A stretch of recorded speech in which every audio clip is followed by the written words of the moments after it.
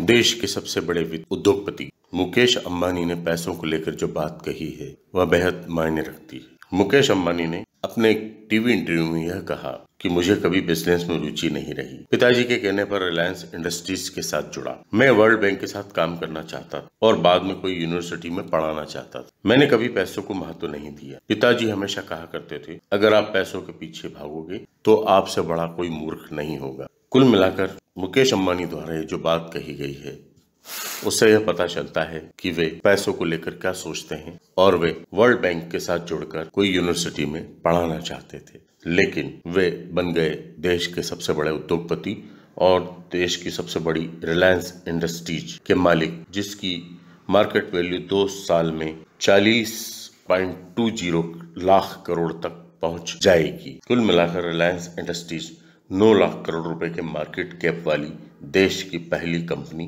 बन गई है। कंपनी के शेयर भी दो प्रतिशत बढ़कर चौदह रूपए तक पहुँच गए और इसका वैल्यूएशन भी बढ़ गया। कुल मिलाकर रिलायंस इंडस्ट्री आज की तारीख में देश की सबसे बड़ी कंपनी बन चुकी है। Subscribe our channel and press the bell icon for more updates.